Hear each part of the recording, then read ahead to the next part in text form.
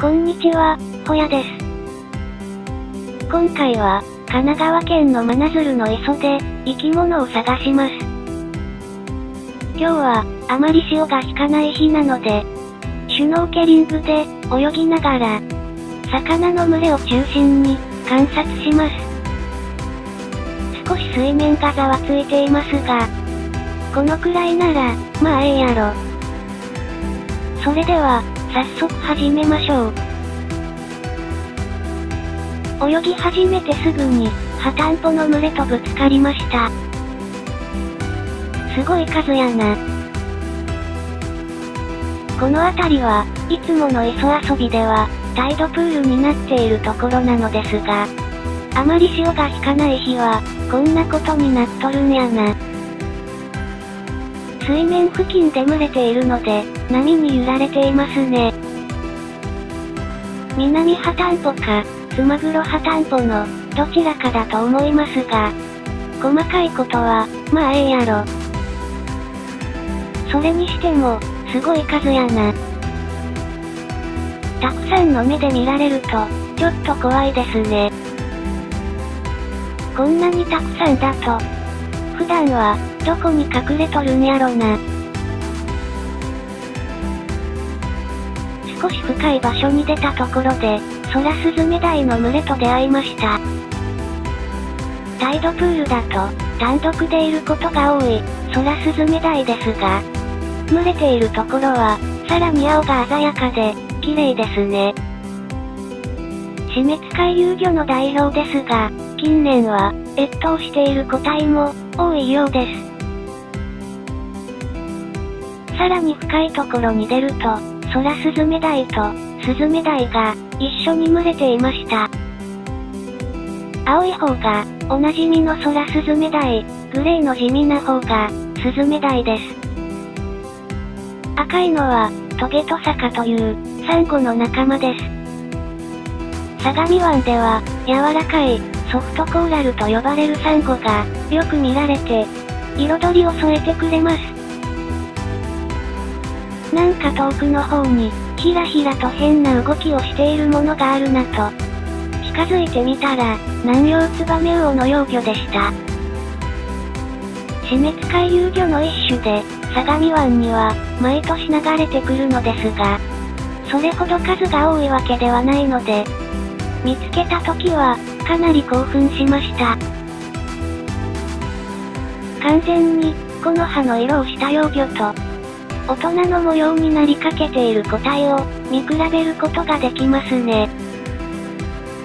このくらいのサイズの時は、この葉に見えるように、ひらひらと動いて、擬態をしています。襲われないように身を守る戦略ですね。30センチくらいまで大きくなりますが、大きな個体は外洋で暮らすことが多いので、磯遊びやシュノーケリングで見ることは難しそうです。黒星石持ちの群れを見つけたので、少し潜って群れに突っ込んでみました。相模湾でダイビングやシュノーケリングを始めた人は、最初に見る魚の群れは、この黒星石持ちか、念仏台だと思います。そのくらいおなじみの魚ですが、大規模な群れは、やっぱり見応えがあります。相変わらず、素潜りは下手くそです。うんわ、今のなんや。イカがたくさんおるやないか。こやすげえな。見たところ、多分、アオリイカやな。お店で食べると、結構なお値段のするイカですが、残念ながら、私はイカアレルギーなので、食べられません。アオリイカの産卵シーズンは5月で、撮影日は8月なので、10センチくらいのサイズのアオリイカということは、おそらく、今年生まれたアオリイカたちなんやろな。こっちのやつは、しましま模様になっとるな。イカの仲間は、体の色を変えられるのですが、このしましま模様は、何を意味しとるんやろな。今度は、腕を大きく広げました。いろいろな行動が見られて、眺めているだけでも面白いです。波が高くなってきたので、岩陰になっている、浅いところに戻ってきました。カゴカキダイが、群れて泳いでますね。なぜか一匹だけ、親ビッチャが混じっとるな。同じ黄色に黒の縞模様だから、バレないと思っとるんやろか。親ビッチャがいなくなりました。やっぱり、何か違和感を感じたのでしょうか？こちらは、さっきのカゴカキ台より、大きなサイズの個体ですね。脇に、小さなニザダイがくっついて泳いでいます。大きな魚のそばに、小さな魚が寄り添って泳ぐことは、結構よく、見かける行動ではあるのですが、この程度のサイズの魚でも、見られるんやな。カゴカキダイは食べると、結構美味しいらしいです。市場に出回る魚ではないので、食べる機会は少ないですが、シマスズメダイがおるな。こちらも、死滅回遊魚の一種です。親ビッチャよりも、シンプルな島柄ですね。素早く動いて、撮影しづらいから。このくらいにしたろ。この魚、磯遊びでもよく見かけるのですが、地味なので、あまり気にせずに、放置している魚でした。